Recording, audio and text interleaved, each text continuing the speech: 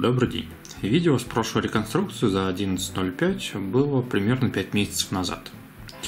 Э, с тех пор я больше не снимал видео в подобном формате, хотя я дважды обновлял свое время.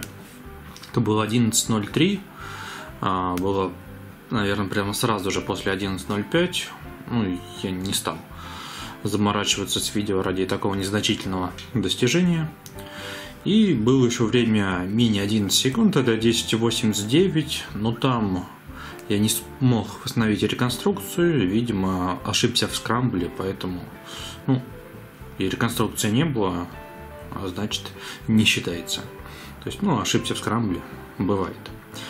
И, как вы знаете, я редко тренирую кубик 3 на 3, но неделю назад я был на чемпионате в Воронеже, и, естественно, я участвовал в кубике 3 на 3.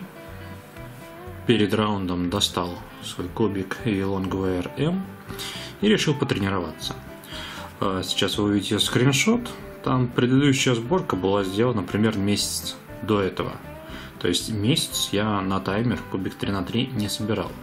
Не говорит о том, что я вообще не собирал 3 на 3, но именно вот на время не тренировал. И что удивительно, первые же сборки мне выпадает PLL Skip Сама сборка достаточно удачная и новое лучшее время, поставленное на чемпионате, но не в официальной сборке. 10.68, 43 хода. И сейчас я, наверное, попытаюсь воспроизвести то, что я там делал. Скрамбл будет в описании и внизу экрана выглядит вот так.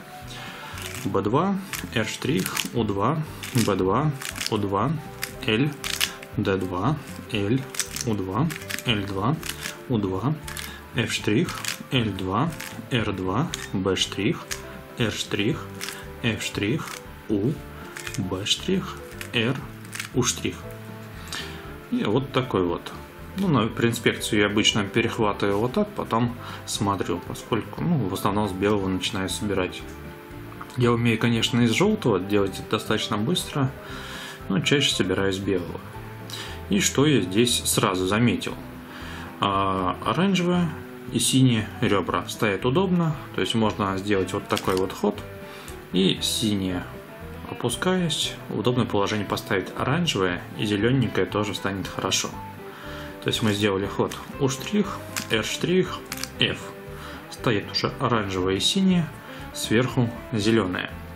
А здесь можно, конечно, сделать U и потом опускать и смотреть. Но я на самой сборке сделал сначала перехват, а потом У. Да, тем самым я сразу заметил бело-красное ребро, поставил зеленое, продвинул ходом D, поставил красное и сделав D2, а, собрал правильный крест. Сразу заметил вот эту зелено-красную пару, но из этого положения она решалась не очень, как по мне, удобно. И также мне на глаза попалась еще бело-сине-красная. Поэтому я сначала решил ее. Сделал R', U, R, U2. То есть перевел ее на трехходовку и не стал через B загонять. А, перехватил Y и отсюда загнал.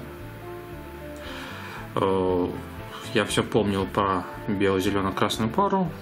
Она должна быть вот здесь с таким вот перехватом и ходом 2, ну и просто загоняем.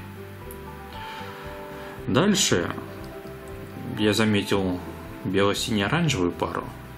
Вот так вот легко перехватил и разбил на трехходовку, отвел ее ну, к заднему слоту и загнал. А Зеленое-оранжевое ребро перевернутое стоит в своем слоте, уголок вот здесь. Это все приводится вот к такой паре. Ну, я сразу сделал U2. Ну, то есть эта пара отсюда решается вот так.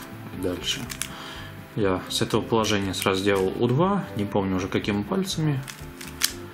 А, вывел на трехходовку. И как бы можно было сделать вот так и через фронт загнать. Но я сделал еще один перехват.